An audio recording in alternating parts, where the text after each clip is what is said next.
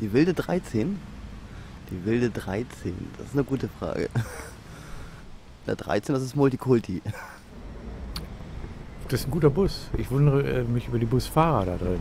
Wie die hier durchfahren und was die für eine Ruhe bewahren da drin. Ne? Das ist unglaublich.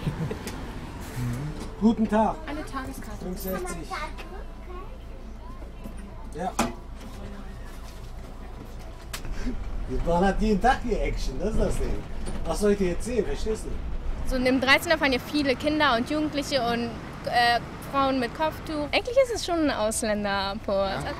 Weil erstmal, ich bin selbst ein halber Ausländer, aber allgemein Ausländerbus kann man das noch nicht so sagen. Mischbus sagt man so eigentlich. wenn die Schulzeit da ist.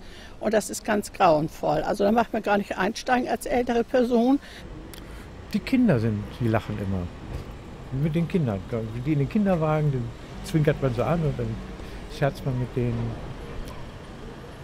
Das, das ist das Beste im Bus. Weil alles andere ist erstarrt da drin. Ne? Man hält sich vollkommen starr im Bus.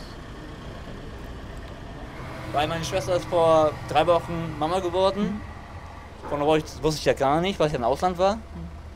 Dann bin ich ja wiedergekommen, haben uns in 13er getroffen und hat gleich groß erzählt, das ist sein Neffe. Dann habe ich mich gleich selbst erschrocken. Erstmal war es ein Witz, haben nur erstmal gelacht.